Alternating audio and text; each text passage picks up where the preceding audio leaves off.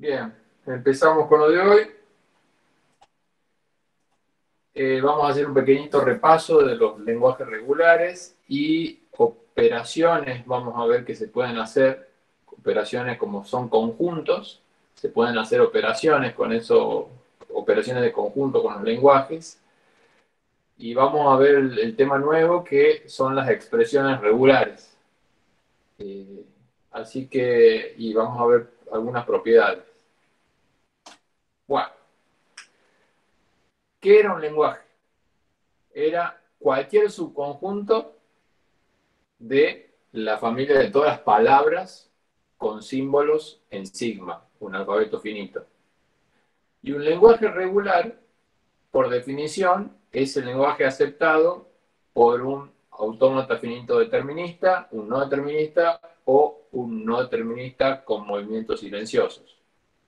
Eh, son sucesivamente más poderosos los autómatas, pero ya vimos que los, los autómatas con movimientos silenciosos aceptan los mismos lenguajes que un autómata determinista. Así que entonces las tres clases de lenguajes son las mismas. Y esos son los lenguajes regulares. Y acá tenemos un ejemplo, ¿sí? Un autómata que vimos en la clase pasada, le cambié el nombre a uno de los estados, le puse ahí eh, acá está su, tipo, en algún sentido, su, especificación como una tupla. Y cuáles palabras eran aceptadas por este autómata. ¿Cuál es el lenguaje aceptado por este autómata? Y bueno, si voy con cero, si, la primera letra alguna vez tengo un cero, la única transición posible es de Q a I y acá eh, está en deadlock está, detenido el proceso, entonces ya no puede llegar al estado final. Entonces, lo único que puede hacer, está prohibido hacer un cero, en ningún momento. Entonces, lo que puede hacer el, el, autómata es hacer unos, uno, uno, uno, y un uno más para llegar al estado final. Entonces, el lenguaje aceptado por este autómata, este NFA con movimientos epsilon, son todas las palabras en el alfabeto 0-1, tales que la cantidad de ceros es cero y la cantidad de unos es positiva. ¿sí? Tiene que tener al menos uno. Dicho de otra manera, es, está hecha solo de unos y no puede ser la palabra vacía. Porque no hay una forma de llegar a acá, a F, al estado final, usando una palabra vacía. Entonces la idea ahora es tener una manera más no sé si más corta, pero distinta, más algebraica, de expresar esto. El lenguaje de todas las palabras que está hecha solo de unos y que tiene al menos un símbolo. Y acá tenemos un ejemplo de cómo se van a ver estas, esta nueva forma de expresarnos que se llaman expresiones regulares. ¿Sí? Eh, dice, esta expresión dice, escribite un 1 y después escribí todos los unos que quieras, cero o más. Con esta descripción que estoy dando, eh, está claro que todas las palabras de, este lenguaje están descritas por esta expresión. Es decir, todas las, eh, todas las palabras que están hechas solo de unos y que tienen al menos un uno, se pueden escribir diciendo, escribí un uno y después escribí todos los unos que quieras, que cero o más. Eso simboliza esta estrella. Bueno, entonces vamos a ver ahora cómo definimos estas expresiones regulares, pero para eso vamos a tener que entender qué operaciones podemos hacer con los lenguajes. Porque estas, las expresiones regulares esencialmente van a describir las operaciones que uno puede hacer. ¿Sí? Entonces, acá tenemos algunos ejemplos de lenguajes, ¿sí? Y operaciones que podemos hacer con, ellos. Eh, el lenguaje vacío, que es el que no tiene ninguna palabra, o sea, es un, es un subconjunto de sigma estrella. Este es un ejemplo. Ahora el lenguaje singulete, que es el lenguaje que tiene un solo elemento, que es la palabra eh, de un símbolo, que es la palabra de un solo símbolo X. O sea, dado un, dado un símbolo X en el alfabeto, sigma, me armo la palabra de longitud 1 y ahora mi lenguaje es el conjunto formado por esa sola palabra. Nuevamente, no, no, no atendamos a los tipos acá. Un lenguaje es un subconjunto de palabras. Entonces, eh, acá, por eso tiene llavecitas esto, porque esto es un conjunto de palabras. Es un conjunto de palabras que tiene un solo elemento, que es la palabra que tiene un solo símbolo X. Y puedo hacer algunas operaciones, las operaciones de conjunto, puedo hacer, por ejemplo, el complemento de un lenguaje, son todas las palabras que no están en el lenguaje. La intersección de dos lenguajes son las palabras que están en un lenguaje y en el otro. Eh, la unión son los que están en un lenguaje o en el otro. Y acuérdense, como habíamos dicho, siempre las disyunciones en matemática y en computación son inclusivas, eh, salvo que se diga lo contrario. Y acá este, ya empezamos con algo más interesante. Hasta acá, hasta la unión, son operaciones de conjuntos. Y ahora pasamos a operaciones que tienen que ver con la naturaleza de los elementos. La concatenación de dos lenguajes es tomar una palabra del primero, otra palabra del segundo y concatenarlas, juntarlas. En ese orden, ¿no? O sea, esta operación ya no es conmutativa. Intersección y unión son conmutativas, concatenación ya no. ¿Sí? Eh, si pueden pinchar, voy a hacer un ejemplito así como muy fácil para... Lo voy a hacer bien grande para que se vea. L1. Imaginemos que tenemos el lenguaje este. Y L2 es el lenguaje B eh, A. Entonces, L1 concatenado L2 va a ser toda la forma de juntar, de poner una palabra de L1 concatenada con una palabra de L2. Entonces, tengo esta con esta, AB, esta con esta, AA, esta con esta, ABB y finalmente ABA. ¿Sí? Entonces, tenemos ese ejemplo y eh, L2, en L2, L1, no lo voy a escribir, pero lo que sí sabemos que en L2, L1, L2, L1 está B a B.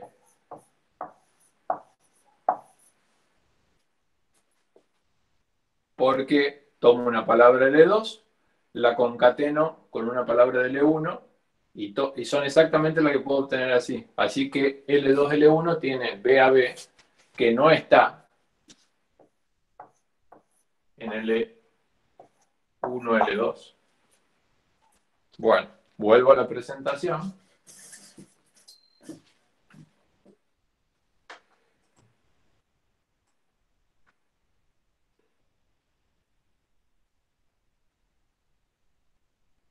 Ah, vi una, hay una pregunta vieja, pero eh, bueno, ya lo vamos a discutir en el recreo eso, eh, lo, del, lo del autómata. Acordate que la, noción de aceptación para, para NFA es que exista algún camino que acepta. No, importa, no importa que los otros fallen, sino con que haya uno que acepte, ya esa es la noción de aceptación. Bueno, retomando acá lo que decía de, de, las operaciones de lenguajes, eh, entonces la concatenación, ya ah, vimos un ejemplito, y ahora están las potencias que simplemente concatenar varias veces el, mismo lenguaje. Eh, esta operación de, concatenación, eh, si bien no es conmutativa, sí es asociativa. ¿sí? Así que esto, esto de las potencias podemos poner paréntesis como uno quiera. Lo, único que hay que tener en cuenta acá es que el caso base, L a la 0, es el lenguaje, eh, el lenguaje que solo consta de la palabra vacía. ¿Y cuál es la razón de eso? ¿Cuál es la razón de eso? Es que la palabra vacía es el elemento neutro de la concatenación. A ver, voy a, voy a dejar de compartir un segundito. Y fijémonos esto. ¿Qué pasa si yo hago epsilon por L? Estas son todas las palabras de la forma epsilon alfa, para que alfa pertenece a L. Pero epsilon alfa, o sea, cadena vacía concatenado con alfa, me da alfa. Entonces, y eso me da alfa, todos los alfa que pertenecen a L, que eso es L. O sea que el lenguaje singulete epsilon es, se comporta como un neutro para la concatenación de lenguajes. ¿sí? Entonces, eh, de la misma manera que, si, que, con números, si yo hago 3 a la 0 me da el neutro de la multiplicación, cuando hago L a la 0 me da el neutro de la concatenación. Vuelvo a presentar.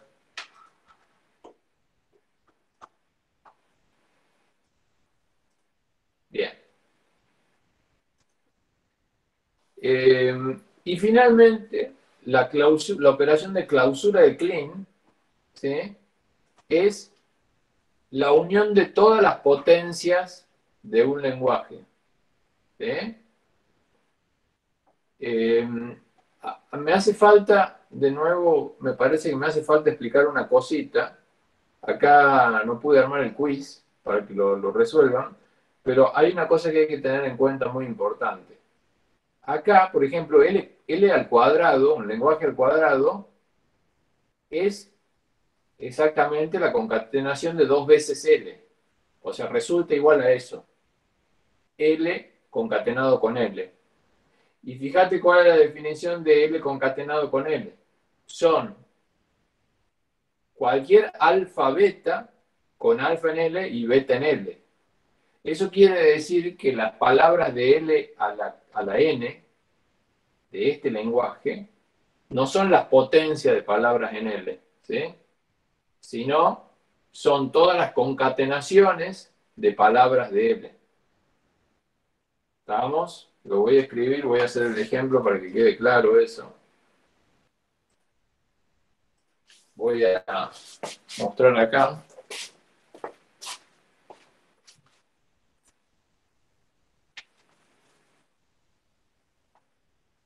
Por ejemplo, si mi L es este lenguaje, entonces L al cuadrado son todas las concatenaciones de cosas de L con cosas de L. Es decir, está A, A. Está A, B, A, B. Que es concatenar esta con esta. Ahora, pero también está concatenar A con AB y también está concatenar AB con A. ¿Sí? Y, ninguna de estas dos palabras son una de estas repetida dos veces. ¿Sí? L al cuadrado, L al cuadrado es igual a, por definición, a L por L a la 1, que es lo mismo que L por eh, por L epsilon, y esto habíamos visto que era L, entonces esto me da L concatenado con L. Eh, bien, entonces es una cosa para tener en cuenta. La potencia de un lenguaje no, no es el lenguaje de la potencia de las palabras, sino son todas las concatenaciones que puedo dar entre sí. Y de hecho, Y de hecho, esto ahora fíjense que, ¿qué pasa si yo escribo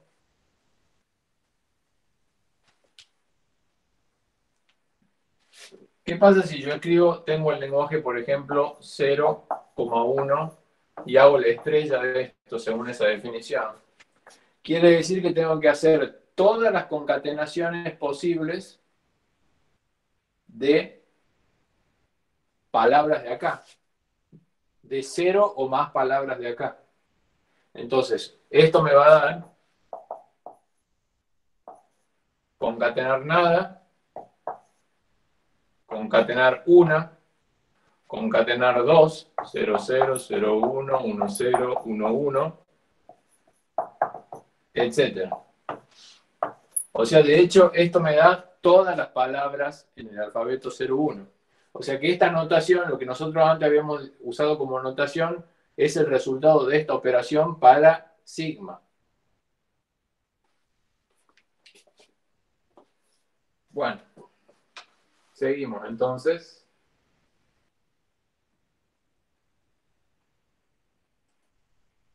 Bien, entonces hemos definido estas operaciones para lenguajes y a cada una de ellas le vamos a poner un nombre ahora. Más, miento. No a cada una de ellas, sino a las que no están grisadas acá. Entonces, al lenguaje vacío le voy a escribir en vacío en negrita. Singulete lo voy a llamar con el símbolo con el que hago el singulete en negrita. A la unión la voy a llamar con una suma. ¿Sí? Si, tuviera una, forma, una, expresión que me describe el lenguaje L y una expresión R' que me describe el lenguaje L', entonces al lenguaje unión lo voy a representar con la suma de las dos expresiones. A la concatenación, simplemente con poner uno al lado del otro, las dos expresiones. A las potencias, esto va a ser como una abreviatura, R a la, alguna N va a ser una abreviatura, pero en el caso de epsilon, el lenguaje que es el singulete de la palabra vacía, lo voy a denotar con epsilon negrita. Y eh, tengo acá esta abreviatura. Y por último, la estrella de Klein la voy a denotar con una estrella. Y esta es la descripción de las expresiones regulares que vamos a estudiar. Entonces ahora repito la definición más formalmente.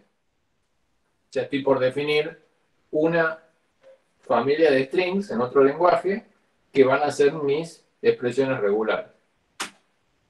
Entonces, defino, dado un alfabeto sigma, voy a definir las expresiones regulares. Le, llamo regex porque este, es la abreviatura en inglés. Entonces, vacío es una expresión regular. Epsilon es una expresión regular. Dado un símbolo, lo escribo en negrita para distinguir y esa va a ser una expresión regular. Dadas dos expresiones regulares, la suma, o sea, el string que se fabrica poniendo primera expresión regular, suma, segunda expresión regular, es una expresión regular. Acá me estoy olvidando paréntesis, pero no estoy poniendo paréntesis, estoy siendo un poco más laxo acá. La concatenación, el producto de dos, dadas dos expresiones regulares, su producto o concatenación es una expresión regular. Y la clausura es eh, la nueva string esta que se obtiene poniendo, después de R poniendo una estrellita, es una expresión regular. Entonces esa es la definición recursiva del conjunto de las expresiones regulares sobre sigma. Y ahora, una vez que tenemos esto, vamos a definir un poquito rigurosamente qué lenguaje denota una expresión regular. ¿Sí? Bien, entonces vamos a utilizar la notación L en paréntesis para decir cuáles son, eh, cuáles son las palabras, el conjunto de palabras denotado por la expresión regular correspondiente. Pedro. Aquí en el chat. Ah, ¿lo viste? Te oigo, sí, decime, a ver, me fijo. Ah, que en el chat hay un chico que dijo que no entendió lo de la clausura. Ah, eh, bueno, lo vemos en un ratito, lo vemos en un ratito.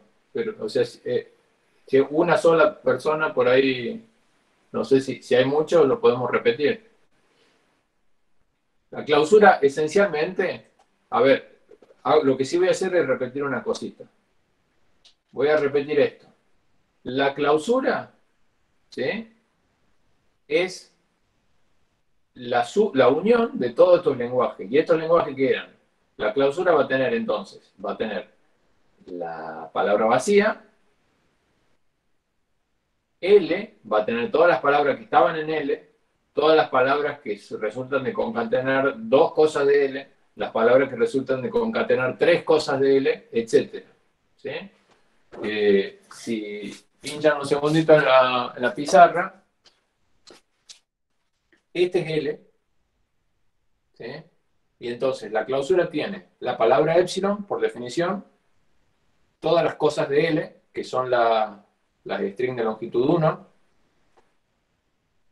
todas las cosas que resultan concatenar dos cosas de L, o sea, concatenar este con el mismo, este con este, el 1 con el 0 y el 1 con el 1. Todas las cosas que resultan de concatenar tres palabras de L, 000, 001 y así los ocho dígitos binarios. Y entonces esa es la estrella. Y ahora la expresión regular, fíjate que una expresión, ahora esta, esta, esta, las expresiones regulares son expresiones simbólicas. Tengo R1, simbolito más, R2. Si es que R1 y R2 eran expresiones simbólicas eh, que son expresiones regulares. O sea, son string de símbolos ahora la expresión regular. Y acá, R estrella es la expresión que resulta de poner, después de la expresión R, poner el simbolito estrella. ¿sí? Ya no es la operación, este, esto es un nombre del... es, e, esto va a denotar el lenguaje. ¿no? Esta operación, es, e, este, este, estrellita es simplemente un, simbolito. O sea, estoy describiendo un objeto simbólico que va a tener un lenguaje asociado. Y eso es lo que hago acá. A cada expresión regular, a cada lenguaje simbólico, al símbolo conjunto vacío, le asigno el lenguaje vacío. Al símbolo, em, al símbolo epsilon, le asocio, vía la función L, el lenguaje singulete, palabra vacía. Al símbolo X correspondiente a la letra X del alfabeto le, asigno el, lenguaje que consta de una sola palabra, que es la palabra de longitud 1 con un único símbolo X. A la cadena de símbolos R1 seguido de un signo más seguido de R2, le asigno la unión de los lenguajes correspondientes al a la expresión regular, que es una cadena de símbolos R1, y a R2. Lo mismo con la concatenación y lo mismo con la estrella. Acá, R estrellas es un string de símbolos que la expresión regular R es, es una expresión simbólica, que después de eso tiene un chirimbolito que tiene forma de estrella, y el lenguaje asociado a eso es el lenguaje asociado a esta expresión simbólica R, y aplico la estrella de lenguajes. Eh, hay, una cosa acá que uno, uno quiere tener acá, entender esta estrellita como un símbolo para no tener que acarrear todo el tiempo. O sea, eh, toda esa bolsa que es el, lenguaje grande que se me arma cuando hago, hago la estrella de Klein. O sea, esta es una descripción simbólica de un lenguaje complicado. ¿Eh? Ahora vamos a ver un ejemplo de expresión regular un poco más complicado. Este es el autómata de la vez pasada, pero ahora sí me desquito y lo pongo como estado final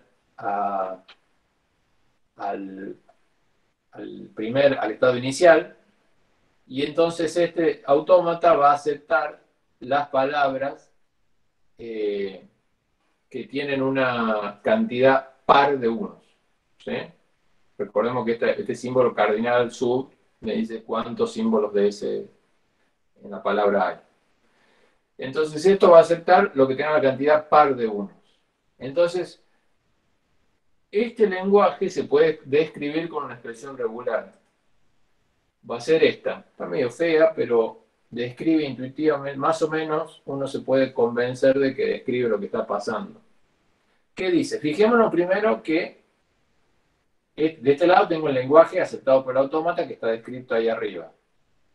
De este lado tengo la función L para expresiones regulares. Son dos funciones que tienen el mismo nombre, pero, pero son dos funciones distintas con distinto tipo. Esta come un autómata, esta función L me come una expresión regular, una expresión simbólica. Y ahora leamos esta expresión simbólica. Tiene acá un choclo de cosas y aplicado una estrella. Entonces, primero entendamos qué es lo que dice lo de adentro.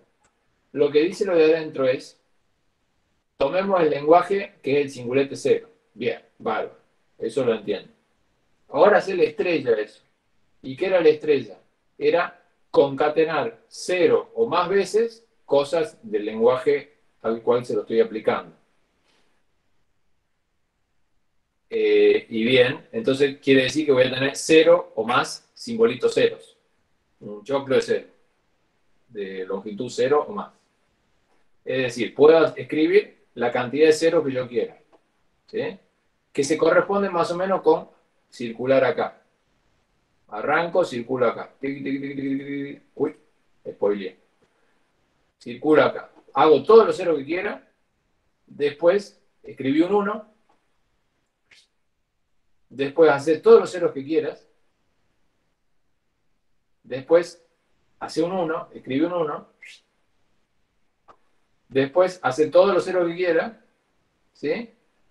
Y esto, todo esto que describí, me da un lenguaje. Ahora repetí eso todas las veces que quiera. Eso, eso es el, significado de esta estrella. ¿Bien? Entonces, todas las veces, todo esto que describí, repetirlo todas las veces que quiera y bueno, siempre vas a terminar en P. Ahora, si uno lo mira más en detalle, eh, ¿por qué esta expresión regular dice que eh, la cantidad de unos es par? Porque en este bloque de adentro, el que está dentro de este paréntesis, hay exactamente dos unos y después intercalados con cantidad arbitraria de ceros. Así que cuando yo en este bloque hay exactamente dos unos y cero puesto en cualquier manera. Si yo repito eso, voy a tener o bien, este, ah, me, acabo de dar cuenta que esto está mal, pero bueno, se lo dejo como ejercicio, si ustedes se den cuenta cuál es el error. Me acabo de cuenta que acá me va a faltar algo. Capaz que se dan cuenta en el chat, a ver. Exactamente, muy bien, muy bien, muy bien. O sea, me está faltando el caso cuando no hay ningún 1. Entonces, lo que me estaría faltando lo vamos a corregir on the fly. Acá me estaría faltando algo así. 0.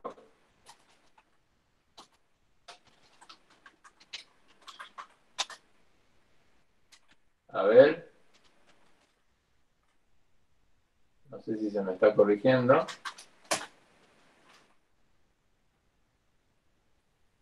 Bueno, esto me pasa a mí, le puede pasar a ustedes. Entonces ahí está un poquito mejor. ¿sí?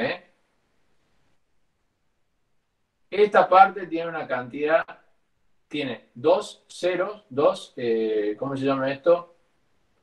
Dos unos y después cero puesto arbitrariamente. Entonces, si repito esto cero veces, me queda este pedazo de acá que es una cantidad arbitraria de ceros, una palabra que tiene solo ceros. Si lo repito una vez, voy a tener dos unos. Y va a ser una palabra, cualquier palabra con dos unos. Si lo repito dos, va a tener cuatro unos, entonces siempre va a tener una cantidad par de unos. Es bastante feo, la verdad que la, expresión no es, en este caso no es tan simple, en el caso anterior era más simple la expresión, pero hay un balance, la, hay algunas cosas que son más cortas de escribir con un autómata, el dibujito este, y otras que son más fáciles de escribir con la expresión eh, regular. Y creo que esta segunda opción creo que anda bien. Sería bueno que me la, me la testeen. Este, a ver lo que dice, dice Gastón. E, eso creo que no es un problema, para la expresión anterior no es un problema. O sea, ¿qué palabra? O sea, lo que vos podrías hacer es tirar una palabra que esté en, ese, que esté en el lenguaje que, vos de la expresión regular que vos estás describiendo y no esté, y yo te digo cómo se hace en el primero. Si pierdo en el juego, entonces quiere decir que hay un error. Si no, gané. Si nunca pierdo, gano. Si tengo una estrategia ganadora, eh, está correcto. Mientras vos me, producís el contraejemplo, yo voy eh, describiendo esta otra alternativa que es un poco más corta. Quiere decir, ahora, ¿qué es esto? Y para hacer esto me gustaría pasar al pizarrón, quizá. Lo voy a copiar primero. Vamos a ver, vamos a poner a prueba, a ver si se lo hice bien. La expresión regular es 1, 0 estrella, 1, más 0, todo estrella. Entonces el lenguaje descrito por esa expresión regular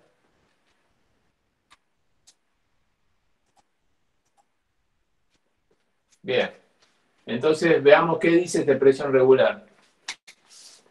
L de esto es igual a L de el lenguaje descrito por esta expresión regular es 3. Y ahora esto es el lenguaje, la unión es el lenguaje de esta expresión unión, el lenguaje de la expresión 0, todo estrella.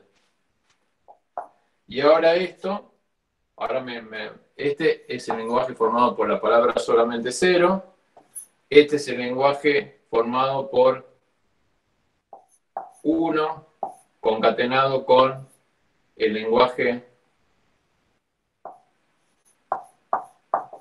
así,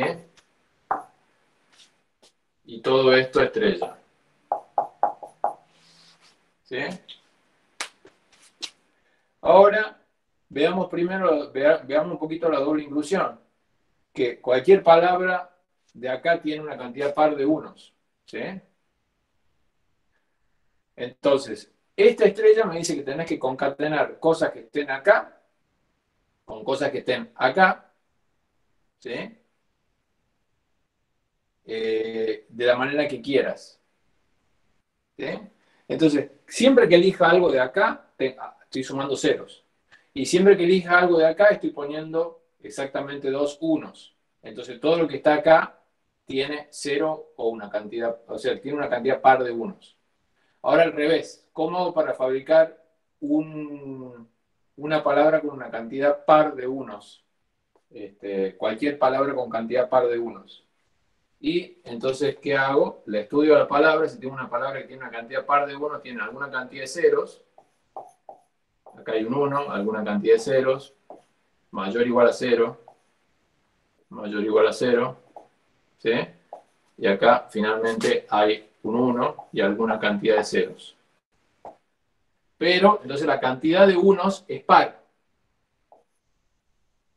Entonces, hagamos un ejemplito nomás. Por ejemplo, así.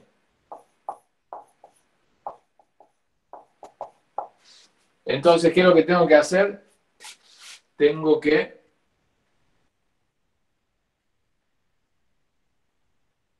¿Cómo, lo descompongo esto? Lo descompongo así, así y ya está. ¿Sí? Este, acá estoy repitiendo varias veces este cero. Acá tengo una palabra de la forma 10001 que se obtiene en esta parte, concatenada con dos veces esta palabra, concatenada con otra palabra de esta forma, y después concatenada con varias de estas, de cero. Y los casos borde andan. Así que esta expresión es como más simple que la anterior. Y de hecho, correcta, porque la, original estaba eh, fulerita.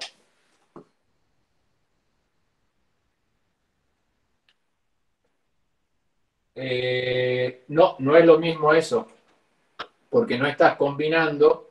En el segundo caso, eh, en, el primer, en el primer caso está incluido en el segundo, ¿sí?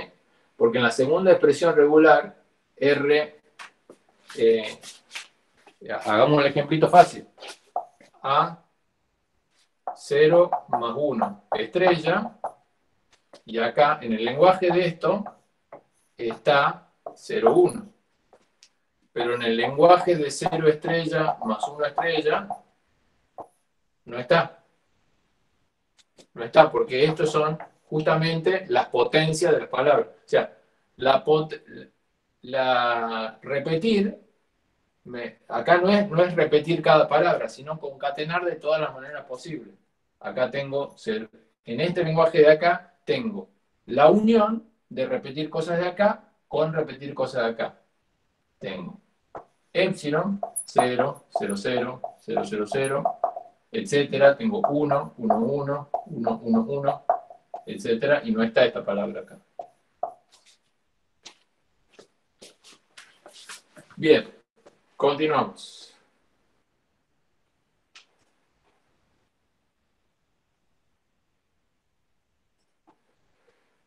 Vale. Entonces ya tenemos un par de ejemplos. Vamos a ver entonces ahora que he hecho todas las expresiones regulares denotan lenguajes regulares. ¿Y cómo vamos a hacer eso? Nos vamos a fabricar un automata no determinista con movimientos silenciosos, tal que tenga el mismo lenguaje, pero para que eh, la construcción va a ser recursiva, pero para que la recursión ande bien, lo voy a probar con, con dibujitos, como están en el apunte de Alejandro con colaboradores. Eh, voy además voy a pedir como invariante acá que siempre tengan un, único estado final los autómatos. Entonces, lo que voy a probar es esto haciendo recursión en la expresión regular. Entonces, para el caso base, acá tengo tres casos base. Cuando la expresión regular es epsilon, este autómata no determinista, que bueno, que es determinista por casualidad, acepta exactamente este lenguaje. Acepta. Entra, no hace nada y no acepta nada más, y ese es el lenguaje aceptado de esto. Y tiene, cumple con el invariante, tiene un único estado final. La expresión regular vacío, necesito un autómata con exactamente un estado final que acepte, cuyo lenguaje aceptado sea vacío. Bueno, es este. No acepta nada. Y después, por último, tengo este autómata no determinista que acepta exactamente el lenguaje A arranca, consume una A y terminó y no puede hacer más nada. Así que consume exactamente una A. Ahora, ¿cómo hago para... Eh, por hipótesis inductiva yo ya tengo autómatas cuyo lenguaje aceptado es el lenguaje correspondiente a R1 y el lenguaje denotado por R2 y esos autómatas tienen, como todo lo que hemos visto, tienen un único estado inicial y por hipótesis inductiva tienen un único estado final. Entonces, este nuevo autómata, donde, ¿qué hago? Pongo un nuevo estado inicial, pongo un nuevo estado final, le borro la propiedad de ser estados finales a los estados finales originales y conecto con epsilon los iniciales al nuevo inicial en el sentido contrario, del inicial puedo ir con epsilon a los iniciales viejos y de los finales viejos puedo ir vía epsilon al nuevo final. Entonces, una palabra en este va a ser aceptada, hay dos formas. Que haga esta transición, después consuma una palabra que va a tener que ser aceptada por, va a tener, es las únicas y exactamente son las que del lenguaje denotado por R1, y después hace un movimiento nada, epsilon, para terminar. Y la otra alternativa se corresponde al lenguaje eh, denotado por R2. Así que una palabra de acá es o bien aceptada por, por este pedazo o por este, este pedazo. Entonces, eh, el lenguaje aceptado por este autómata es exactamente las que están en este lenguaje o en este lenguaje, que es la definición de la unión. La concatenación, bueno, facilísima. Hago primero, si tengo por hipótesis inductiva dos autómatas que me aceptan los respectivos lenguajes denotados, entonces la concatenación va a ser aceptada por este nuevo autómata, donde conecto, lo pongo en serie. Y la estrella está un poquito más interesante, pero no deja de ser fácil. Eh, no deja de ser fácil, que es cómo hago para aceptar la estrella eh, de una expresión regular. Si tengo un autómata que me acepta el lenguaje denotado por R, entonces hay dos opciones. La estrella es, tiene o bien la palabra epsilon, entonces puede aceptar la palabra epsilon este, yendo por esta transición de abajo, o bien hace alguna cantidad de veces una palabra aceptada eh, por el que está en el lenguaje denotado por R.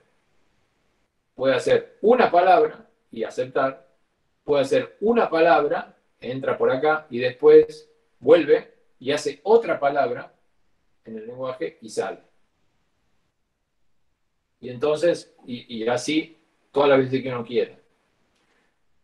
Este es el, Entonces, ya con esto, ahí, termina, digamos. Y uno puede, queda como ejercicio y, van a tener ejercicio en el práctico de hacer, eh, implementar esta idea. Simplemente van descomponiendo y usando los ladrillos iniciales estos, estos se van a construir y, eh, un autómata no determinista con movimientos silenciosos que acepte la expresión regular que quieran.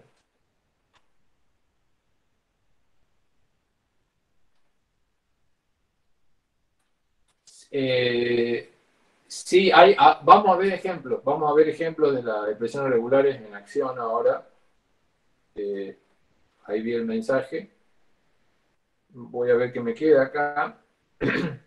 ah. Pedro. ¿Sí?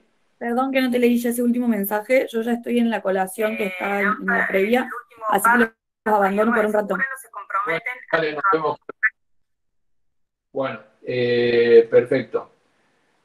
Bien, entonces, vamos a la, a la última pregunta del teórico propiamente dicho de hoy, es qué pasaba con las otras operaciones de conjuntos, porque nosotros acá nos habían quedado dos que no las podíamos expresar. De hecho, o sea, hagamos un pequeño, un pequeño repasito. Nosotros definimos eh, expresiones regulares, ¿sí? Y nos dimos cuenta que toda expresión regular denota un lenguaje regular. ¿Por qué?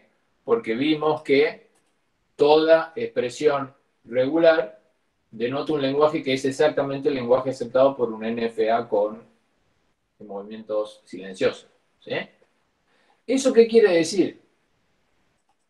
Que las expresiones regulares son eh, los lenguajes denotados por expresiones regulares son cerrados por unión, por, concatenación, por potencia y por clausura de Klein. Ahora, después más adelante vamos a enunciar un teorema eh, y vamos a dar un algoritmo que muestra que también vale al revés, que todo, todo lenguaje regular se puede describir con una expresión regular. Y entonces, en resumen, lo que vamos a tener es que las expresiones regulares que equivalen a los lenguajes regulares, eh, como las expresiones regulares, sus lenguajes denotados son cerrados por unión, eso va a decir que los lenguajes regulares son cerrados por unión. Entonces, ah, en resumidas cuentas, sabemos que los lenguajes regulares, aceptando el teorema este que, que enuncié, son cerrados por unión, son cerrados por concatenación, por potencia, por clausura de Klein, y tiene, contienen a los singuletes y al vacío, y al lenguaje epsilon. Pero ¿qué pasa con estas operaciones? Porque no tenemos, las expresiones regulares no tienen las operaciones de complemento y de intersección.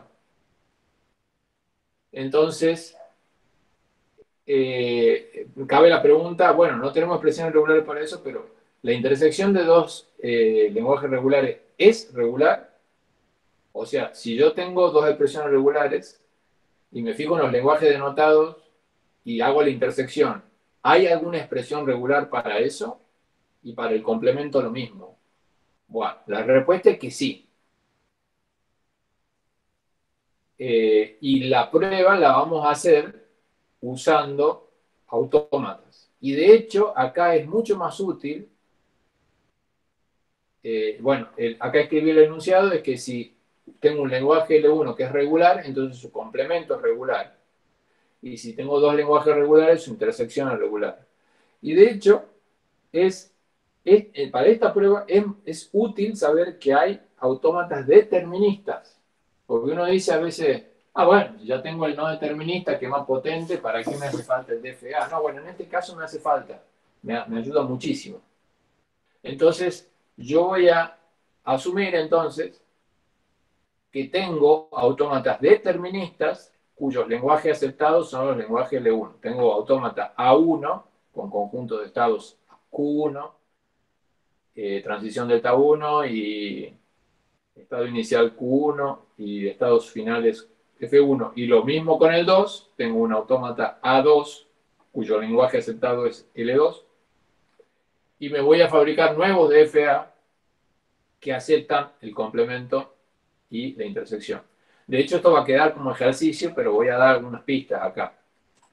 Para el primero es casi trivial, el mismo, prácticamente el mismo. Si tengo un, un autómata determinista A1 que me acepta L1, es prácticamente el mismo, me sirve para ver el complemento, lo único que hay que hacer es cambiar el conjunto de estado final.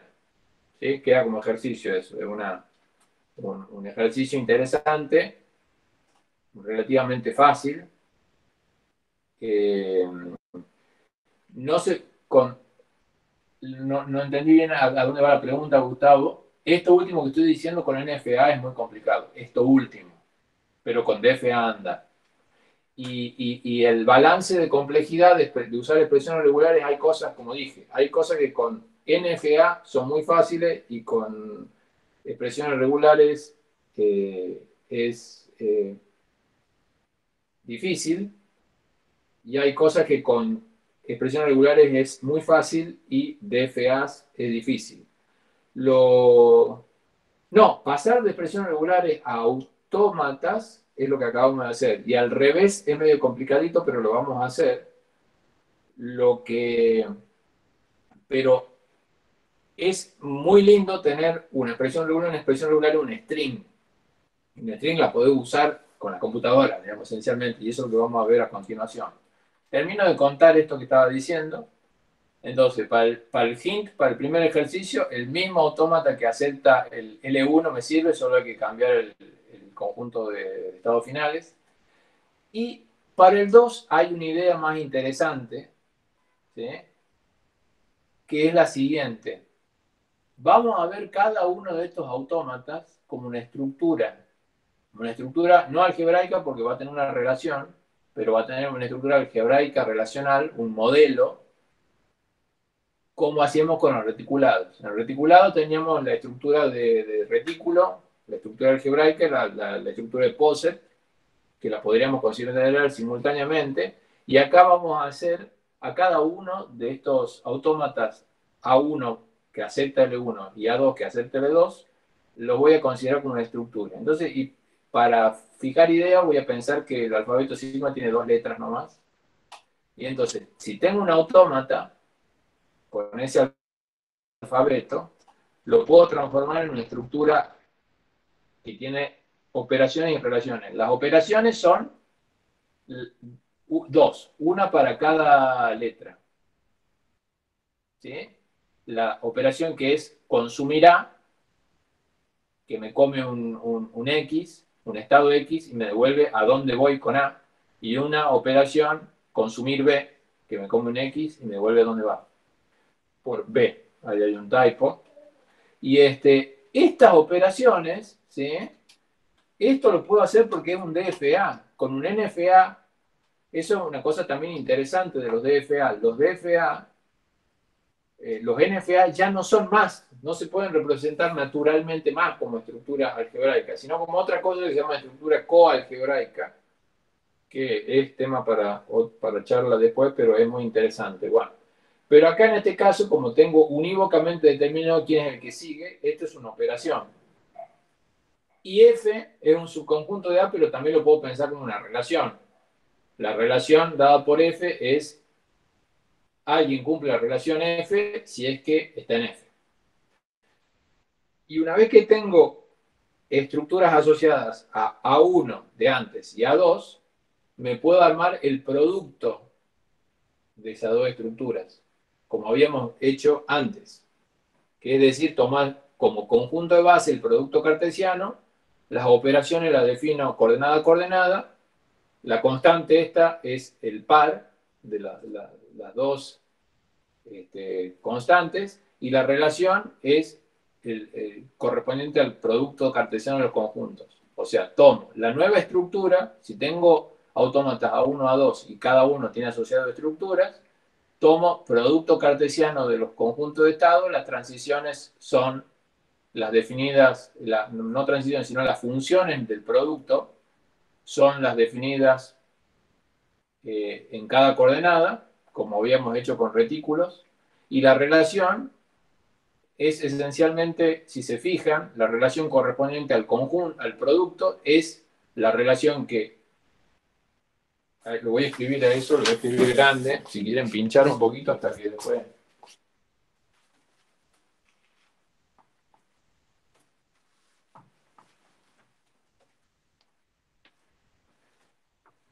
Si se acuerdan, eh, voy a hacer una breve digresión, que cuando nosotros teníamos dos posets, L, L1 y menor o igual a 1 y L2 y menor o igual a 2, decíamos que el par eh, A1, A2 estaba menor o igual en el producto con B1, B2, sí, solo sí, A1 está menor o igual a B1 en, el orden 1 y A2 está, está menor o igual a 2 en el orden B2. Ahí voy a poner más grande la, la pizarra para que la vean mejor.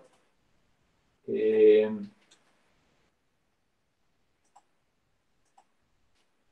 bien. Bueno, si uno considera, si uno se pregunta ahora la relación correspondiente al conjunto producto, esto lo digo muy rápido porque esto después lo pueden escribir y va a quedar como ejercicio, escribirlo, van a ver que anda todo bien. A1, A2. En el caso de esto,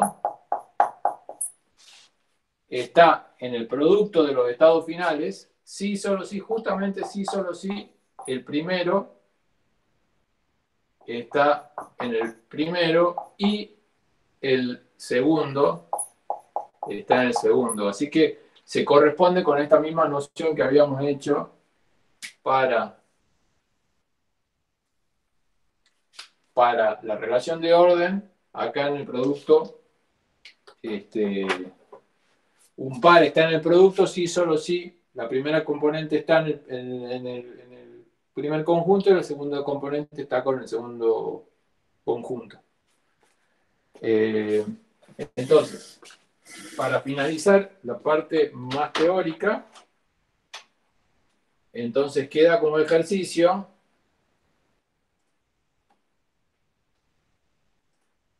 queda como ejercicio ver que el autómata correspondiente a el producto, ¿sí? Tiene como lenguaje aceptado la intersección de los dos autómatas. Si ustedes se fijan, esto, y ahora voy a molestarlo de vuelta para que pinchen un poco en la pantalla, si ustedes se fijan, las transiciones de este nuevo, si uno traduce la estructura que definí de vuelta en autómata, Los estados son, como dijimos, los pares. Los, el estado inicial son el par de los estados iniciales y hay una transición de un S1, S2, hay una transición a un T1 por A. T2, sí, solo sí, de S1 hay una transición A a T1 y de S2 hay una transición A a T2. Esto está pasando en, el autómata 1 por el autómata 2 y esto está pasando en el autómata 1 y esto está pasando en el autómata 2. O sea, las transiciones de este producto son exactamente, se dan cuando hay una transición en cada uno. ¿Sí? Y con eso van a poder probar de que el estado, lo, el lenguaje es el todo justo en intersección. Bueno, entonces, ahora quiero pasar a un tema eh, ligeramente distinto, algo más práctico.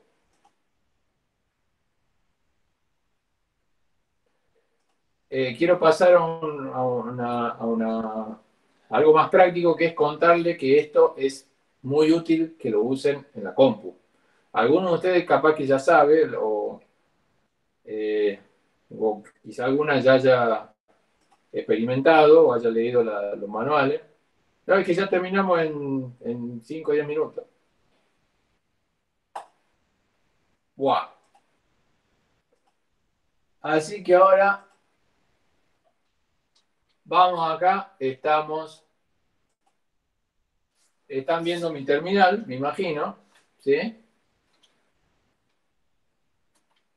Y ahora estoy en un directorio, ¿sí? Ahí tengo un par de archivitos, algunos que, son de mi trabajo, otros que inventé a adrede, ¿sí? Y, ahí hice un, listado. Y si yo este, listo esto, y lo, y lo tiro en un archivo, creo que en dir lo hice eso. Sí, ¿ve? Es, lo mismo que salía ahí. Entonces lo, tiré ahí, pero de hecho, fíjate que salió todo en colorcito. Cuando dice cat, por las dudas no se acuerden, cat es mostrar los contenidos del, archivo. Eh, me mostró colorcitos, pero si ahora yo eh, me fijo que, que tiene el con este comandito eh, les, eh, me aparece toda esta basura, que son los códigos de control, esto, todo esto, ESC, son, son caracteres de control que me colorean esto. Y de repente yo quisiera, por ejemplo, filtrar este tipo de cosas. ¿Eh? Entonces, lo que puedo hacer es buscar esta cosa y filtrarlo. Y como había dicho al principio, sea, no hace falta que me escriba un programa en, C Sharp para, para, hacer esto. O sea, de hecho, una expresión regular me puede hacer trabajo. Es buscar un string y borrarlo. ¿sí? Antes de ir a ese, ese sería el objetivo final, porque de hecho un amigo mío tenía un amigo y colega estaba, estaba con un tema así similar, justamente esto de sacar un coloreo de, palabras. Pero vamos a jugar un poquito con su eh, con otro archivo de texto, más grande, que sea más útil. Por ejemplo, a ver, eh, listado. Vamos a ver qué tiene listado. Y son sus nombres, como están en el, en el ¿cómo se llama esto? En el, en el guaraní. Bien. Ahora, de repente yo quiero buscar, por ejemplo, eh, seguramente no van a estar todos y todas, porque eh, este es solo de la, gente de licenciatura en computación y hay algunas personas del profesorado, así que esos no están. Pero yo puedo buscar, a ver, con esta herramienta que se llama grep, puedo buscar los que tengan alguna letra G. El nombre, tengan el nombre G en el nombre. Entonces, hago listado y esto podría no andar y no me dice nada. ¿Por qué? A ver si alguien sabe. O sea, si me fijo de vuelta en el listado, tiene que haber varios con la letra G, a ver. ¿Ves? Por ejemplo, Miguel, Angulo, Agustín, Arguello, está el ejército de los Gastones también. Este, alguien se... Bien, ahí, bien, bien. Está bien, ya, ya a esta altura está bueno que hayan aprendido que la diferencia en case importa. Entonces, ah, bueno, ahí ya funciona. El comando, grep, acá, grep lo que, tiene, hace es tomar una expresión regular y me filtra todas las líneas del archivo de texto que tienen esa expresión regular. Acá si le pongo un pipe less, la salida, la salida estándar de esto me va a ir al, al less y me va a mostrar ahí todo lo que tienen alguna G. Pero ahora yo quisiera saber, por ejemplo, cuáles son los que eh, tienen el, empiezan con eh, G, el nombre. Entonces yo ahí yo puedo hacer, acá puedo buscar, me puedo avivar de que el nombre viene después de una coma y un, y un este, espacio. Entonces ahí voy a tener bien, ahí esto. Ajá. Acá tenemos a Guillermo, Gastón, Gustavo, pero me está faltando un Gastón acá, seguramente había más Gastones. Lo que pasa que me estoy olvidando de buscar los que tienen este, los que tienen segundo nombre con G. Capaz que haya algún Gastón que tenía no, segundo nombre con G. Bueno, ahí están los dos Gastón. Pensé que había más. Pero, por ejemplo, si yo quisiera buscar, ahora yo quiero buscar todo lo que tienen algún nombre que empieza con G. Y, lo ¿qué es lo que puedo hacer con una expresión regular? Puedo hacer lo siguiente. Puedo decir, búscame que haya una coma, después puede haber cualquier cantidad. Ahora, punto es cualquier carácter, y acá viene estrella, vamos estrella, cualquier concatenación de cualquier carácter, y después un espacio y G. Y ahí aparecieron más, apareció Naira, apareció Gabriel, Gabriel, varios Gabriel, Gregorio, ¿sí? Entonces, ¿qué es lo que hice en esta expresión regular? ¿Qué hice? ¿Ven cuando selecciono así, cuando pinto así? ¿Se ve esto? Bárbaro. Bueno. Entonces, lo que hice fue buscar todas las, todas las líneas que tienen alguna cadena eh, que tiene una coma. Después, la expresión regular sigue, es, la expresión regular es coma, Carácter, punto, este es un símbolo que para no tener que escribir tanto, este es cualquier símbolo. Estrella quiere decir una cadena mm, eh, vacía o no de cualquier símbolo y después tiene que venir un espacio y una G. Ahora quisiera todo lo que tiene en primer apellido eh, G. Entonces lo que puedo hacer es buscar así. G, punto asterisco y tiene que haber una coma para que estén el apellido de la G. Uy, pero ahí tengo un problema porque, ve, por ejemplo, Angulo y Argüello no, la, no empieza con G. Así, está, está, lleno de. Yo quiero decir, quiero los que empiezan con G. Buah. Entonces, vamos a aprender un nuevo truco que es cómo indicar cuándo empieza la, la línea. Este chirimbolito quiere decir cuándo empieza la línea. La línea con este chimbolito, cuando está puesto ahí, significa cuando empieza la línea. Entonces, ahí está. Primer apellido con G. Eh, y ahora tenía otros ejemplos que ahora me los voy a chumear para acordarme qué quería hacer. También puedo hacer complementos. Por ejemplo, los que, los que no tienen O. Entonces, vamos a poner los que no tienen O. Cuando uso corchete, cuando quiero decir es como un paréntesis, como que voy a dar un conjunto. Entonces lo que quiero es los que no tengan O. acá el, simbolito acá tiene, después del corchete, este simbolito significa complemento.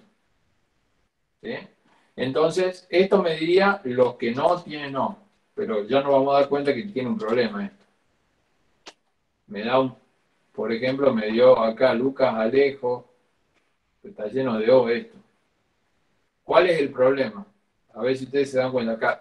Eh, o sea, me tienen que creer que este comando de acá, esto, este patrón son los que no, este patrón son palabras que están hechas de un símbolo que no es O. O sea, es agarrar el conjunto, ya el corchete conjunto, esto es complemento, el conjunto, el complemento todos los símbolos O y estrella. A ver si hay algún hint de qué es lo que está pasando. Bueno, hay varios problemas con esta.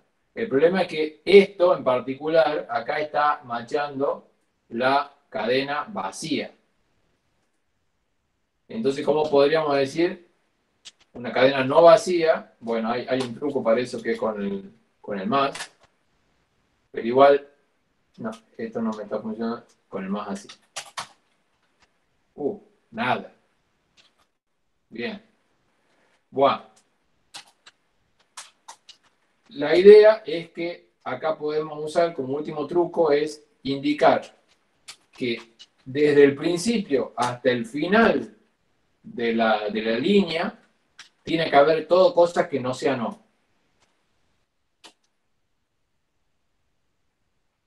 Ah, y ahí está. Hay nada, no hay nada que tenga O. Bien. Bueno, y ya para ir terminando, le voy a dar la última, el final de la línea es eh, peso, perfecto. Eso, o sea, estos ya no son expresiones regulares que las que estamos enseñando nosotros, pero sirven para esto. Y finalmente voy a ver algunos ejemplitos, que es, hay otro programita de, de, de la terminal que es útil y que funciona con expresiones regulares, que es SED. Acá, aquí lo que voy a tratar de hacer? Voy a hacer lo que hace. primero voy a eh, eh, mostrar el listado, pasarlo por, esta, por este SED y le voy, después lo voy a mostrar con LEX. Y creo que hace SED, me busca expresiones y me la reemplaza por algo. ¿Sí? Y acá, ¿qué, ¿qué va a hacer? Me va a hacer, me va a cambiar cualquier... Eh, no, nos concentremos en esta parte. Lo que está entre el primer par de barras es lo que va a ser reemplazado. Y lo que está después del segundo par de barras es lo que va a reemplazar, con lo que va a reemplazar. Entonces, fíjate, lo que yo quiero hacer es poner diminutivos a todo. Por ejemplo, Gabrielín, Gastonín, Miguelín.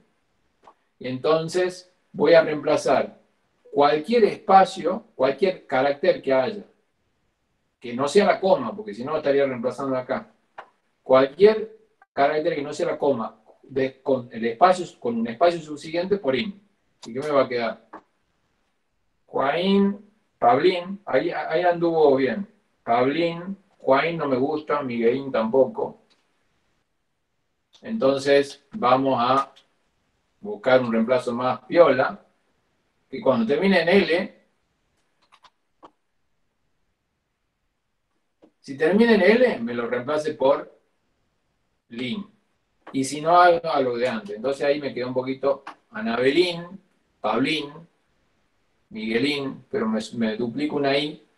Y así hay varias maneras de seguir jugando con esto. Y por último, eh, la última, el último truco que vamos a ver es el siguiente, que es que este sed te permite también usar parte de lo que había seleccionado para reemplazarlo después.